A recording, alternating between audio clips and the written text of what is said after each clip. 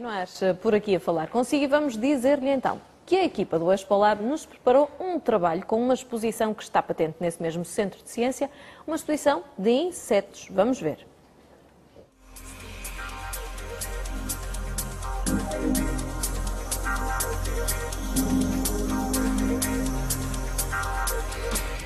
Olá Silvia, hoje voltamos à nossa exposição Insetos em Ordem. Hoje para perceber um pouco melhor o que é que distingue este grupo dos restantes grupos de invertebrados. Para começar, os insetos são artrópodes, como tal, têm o corpo revestido por quitina.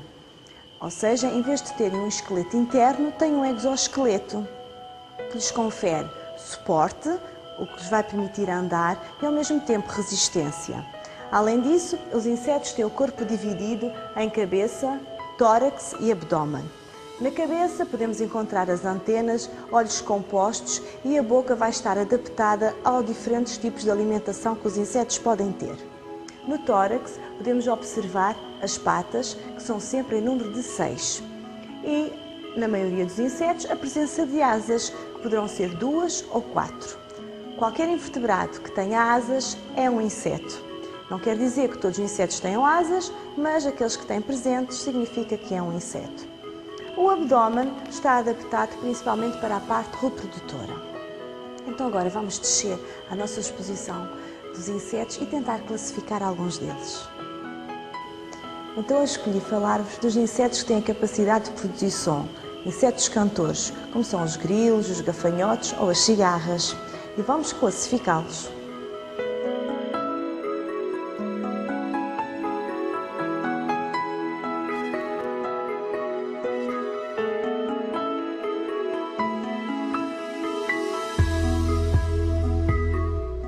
Podemos ver que o nosso gafanhoto tem o corpo dividido em cabeça, tórax e abdômen.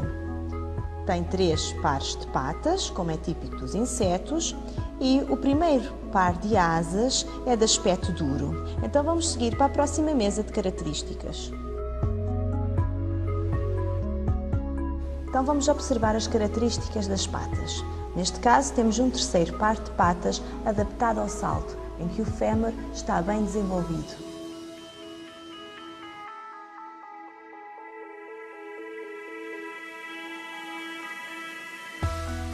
No fim da linha azul encontramos a ordem Orthoptera, significa que têm asas direitas. Nesta ordem encontramos gafanhotos, grilos e saltões. Vamos ver então algumas características desta ordem.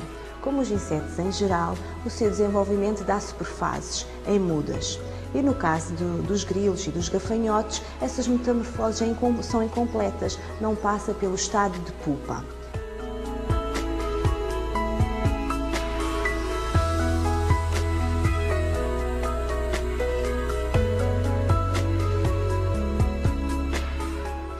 À medida que crescem, eles nascem como pequenos adultos, sem as asas completamente desenvolvidas e à medida que vão crescendo, vão perdendo o seu exoesqueleto e vão adquirindo um exoesqueleto maior, até uma fase final que será a fase adulta, já com as asas completamente desenvolvidas. Os ortóptera têm o aparelho bucal adaptado a alimentarem-se das folhas, ou seja, têm mandíbulas, alimentam-se essencialmente de gramíneas. Outra característica deste grupo é a adaptação que as fêmeas têm no abdômen com um prolongamento deste, que se chama ovipositor, que vai permitir colocarem os ovos, por exemplo, em covas no, no solo, afastado dos predadores, por exemplo. Mas ainda não vimos como é que produzem o som.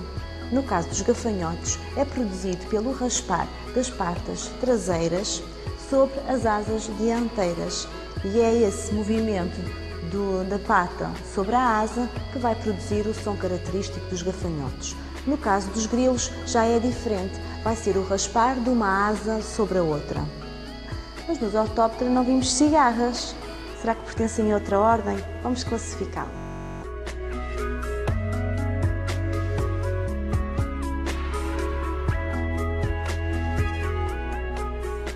E aqui temos uma cigarra, se calhar um pouco diferente do que aquilo que imaginava.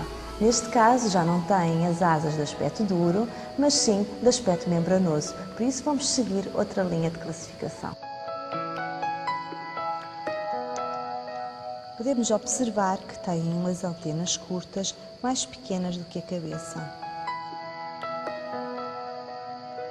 Aqui observamos o aparelho bucal, que é bem diferente dos gafanhotos. Este, a boca está em forma de bico, que serve para picar a planta e sugar a seiva. E chegamos à ordem Homóptera. Significa que têm asas iguais, ou seja, uma ordem completamente diferente dos gafanhotos e dos grilos.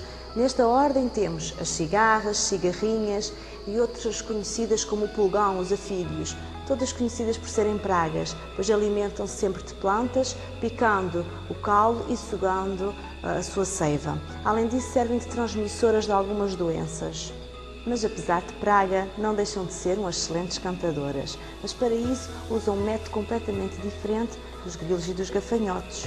Para isso têm no abdômen uns tímbalos, umas membranas, que ao vibrar é que vão produzir o som característico das cigarras.